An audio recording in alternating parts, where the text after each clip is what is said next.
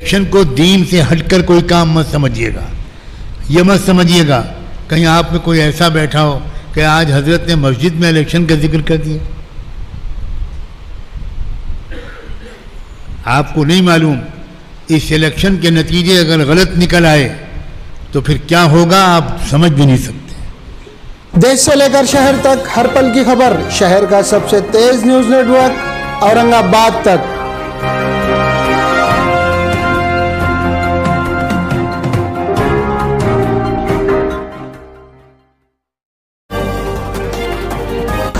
स्वागत आप सभी का, मैं आपका दोस्त इस्माइल हुसैन। जैसा आप देख रहे हैं 2024 का इलेक्शन का दौर चल रहा है और एक बहुत बड़ी नसीहत आलम दीन खलीलुररहमान मौलाना सज्जाद नुमानी ने तमाम मुसलमानों से एक बहुत बड़ी अपील की है, जो वोटर आईडी कार्ड रखते हैं, उनके लिए एक बहुत बड़ी अपील मौलाना सज्जाद नुमानी ने की है।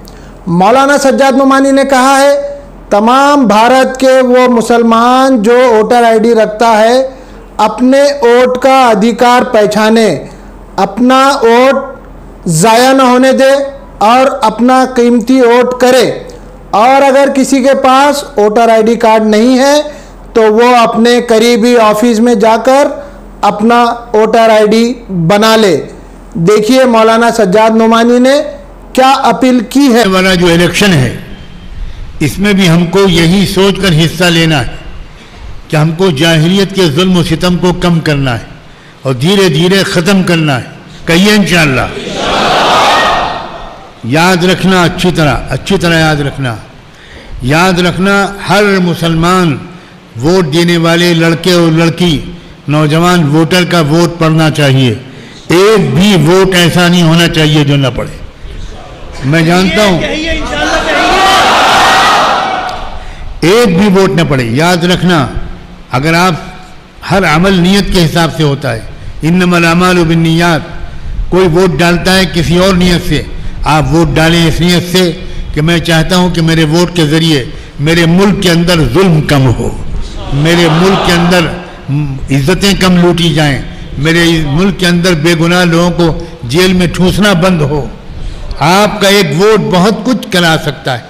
काहली सुस्ती मत कीजिएगा। वोट वो इलेक्शन के दिन में। आप सब पहले से अपनी जमातें बना लीजिए, अपनी कमेटियाँ बना लीजिए, हर मोहल्ले के अतबार से और बूथ के जिम्मेदार होने के अतबार से।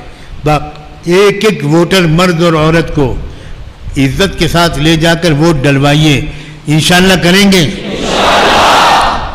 बहुत ही अहम मसला है।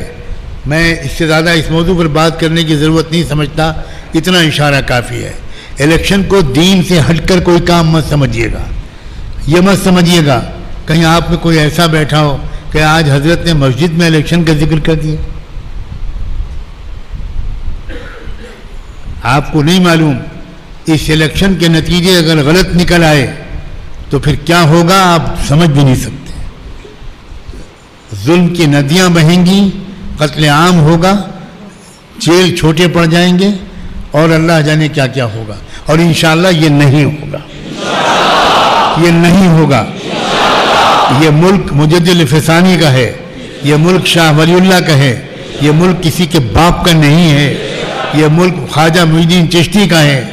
ये मुल्क हज़रत ख्वाजा निज़ामुद्दीन अलिया का है। ये मुल्क अब्दुल कादिर जिलानी के ग़ुलामों का है।